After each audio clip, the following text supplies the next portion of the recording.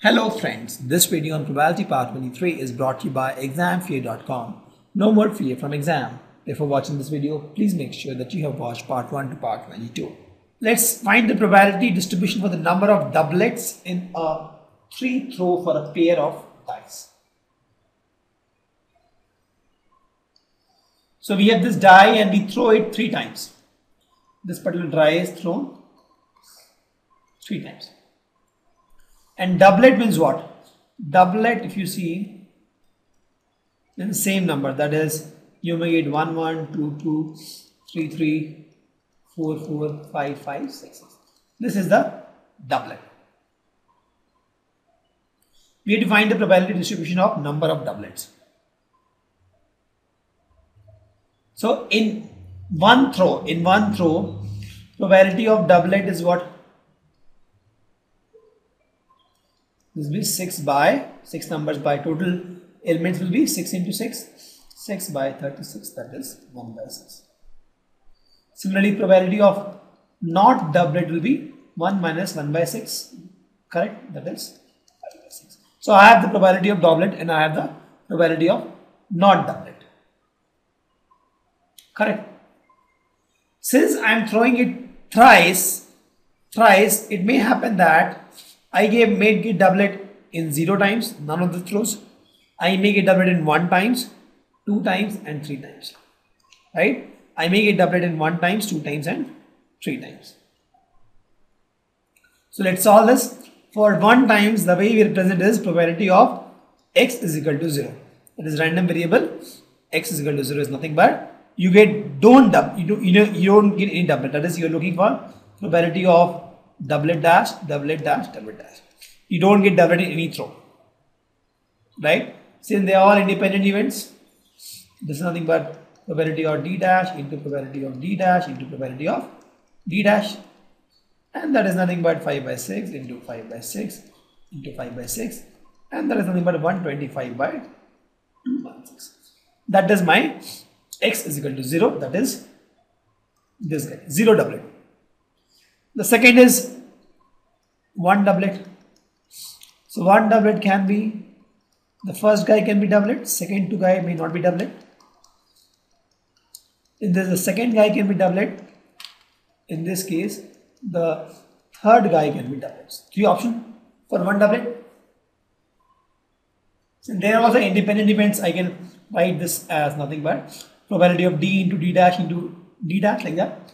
So if we solve this, this becomes probability of d is what? 1 by 6 d dash is 5 by 6 into 5 by 6 plus d dash is 5 by 6 d is 1 by 6 into d dash 5 by 6 plus d dash is 5 by 6 5 by 6 and d is 1 by 6 correct? So if you solve this you get 15 75 by 2 axis that is probability x is equal to 1 probability x is equal to 2 so I'll take this part now.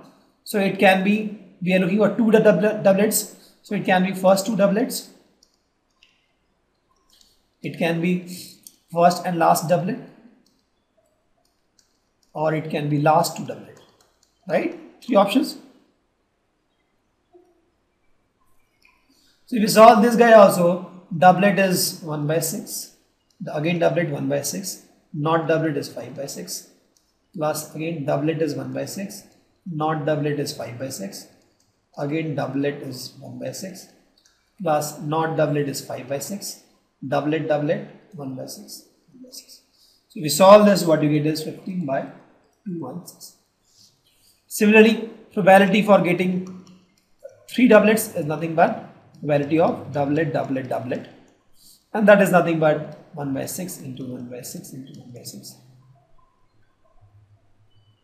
correct that is nothing but 1 by 2 so the probability distribution if you see will be you have the values of x 0 1 2 and 3 and here you have the probability of x. For 0 it was uh, 125 by 216 for 1 it was 75 by 216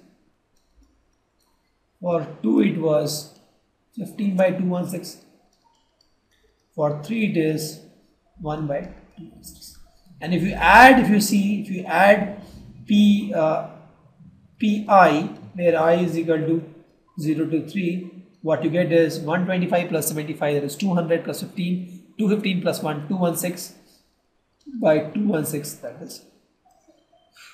So this is the probability distribution of random variables we'll use these things to find mean standard deviation all in the future slides but just now understand that random variables are nothing but variable whose values depend on a random experiment and we can find the probability distribution of a random variable So the question says urn contains five red, two green balls. Two balls are drawn randomly.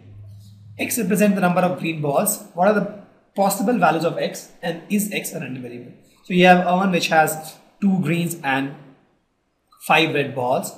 Two balls are drawn. So if two balls are drawn, zero can be green, one can be green or two can be green, right? Both can be green. Three possible scenarios. Correct? So probability of x is equal to 0 that means 0 green is nothing but probability of getting red and red correct so since it is without replacement without replacement right so maybe red 1 red 2 you can see so I'll mark it G1 G2 I mean any any two red numbers both are different actually so this is nothing but two different red numbers right first is red second is red so this is nothing but probability of red 1 into probability of red 2 given first is red 1. Please note it is not independent, not independent. Why? Because we are not replacing it. We are not, we are taking out the ball, first ball, we are not replacing it. So this will be the value. So this will become probability of red 1 will be 1, 2, 3, 4, 5. Total is uh, 5 red and 2 green. Total is 7. So first red probability will be 5 by 7 in second case, probability of again red given the first one is red will be, in this case, you took out one red, so you are left with 4 red, 2 green, total 6 and red you are left with 4. This will be the probability of second red given first red. Correct? That will come out to be 20 by 42. Please note it is not an independent variable, right? So we are probability of R1, R2, I didn't write as probability of R1 into R2. I write wrote this guy as R2 given R1. In case of independent variable, this probability of R2 given R1 is nothing but probability of R2. Correct? So in this we, we can write. So this is what you get probability of X is equal to 1, 1 red, right? Sorry, 1 green. So it can be have red green or green red so this is nothing but probability of red into probability of green given first is red plus probability of green into probability of red given first is green. So probability of red is we know nothing but 5 by 7. Probability of green given first is red. So if first is red, you are left with 4 red, 2 greens. So probability of green will be 2 by 6 because 6 balls out of which 2 are green. Plus probability of green in the first instance will be 2 greens out of 7 balls 2 by 7 probability of red even the first was was green was you are left with 1 green and 5 red. Right? This condition. You should take 1 green out of this. So you are to find the probability of red that is 5 red out of 6 balls. Correct so if you add this you get 20 by 42 probability of x is equal to 1 that is probability of both green that is nothing but probability of green 1 into probability of green 2 given first one is green. So probability of green 1 is nothing but there are 2 greens out of 7 balls to start with. You took out 1 green, you are left with 1 green, 6 and 5 red. That is 1 green and total 5 plus 1, 6 balls. That is nothing but 2 by 42. So if you see all the values are less than 1 and if you add these values 20 by 42, 20 by 42 and 2 by 42 you get 1. If you add this 20 by 42 plus 20 by 42 plus 2 by 42, you get 42 by 42, that is 1. Since the sum is coming out to be 1 and all are less than 1, you can say that yes, it is a random variable. The trick here was that it is not an independent event, so you have to take care of this. So the question says let x represent the difference between the number of heads and number of tails obtained when a coin is tossed six times. Possible values of x we are asking for. So six times it can have six head, zero tail, right? Five head, one tail, four head, two tail, three head, three tail, two head, four tail, one head, five tail, and zero head, six tail. Let's find the difference. So in this case, difference will be 6 minus 0 is 6. In this case, difference will be 5 minus 1 is 4. Difference between the number of head and tail. Here 4 minus 2 is 2. 3 minus 3 is 0. Again, 2 minus 4 is minus 2, but we'll take the, uh, the positive part because I'm just asked to find the difference between head and tail. So head and tail difference here is again 2. Here 1 minus 5 is minus 4, but I'll take the positive part 4.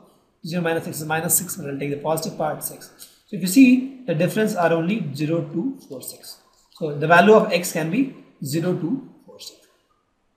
So these is the conceptual question where you understand what are the possible values of x so that you can solve similar kind of questions where you define now let's suppose find the, the random variable the probability of random variables or the, or the random probability distribution for this case.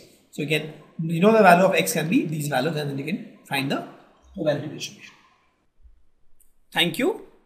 Visit examfear.com to watch free educational videos, try free online tests, get the best quality study materials, study from the best tutors and mentors, and much more. Thanks once again.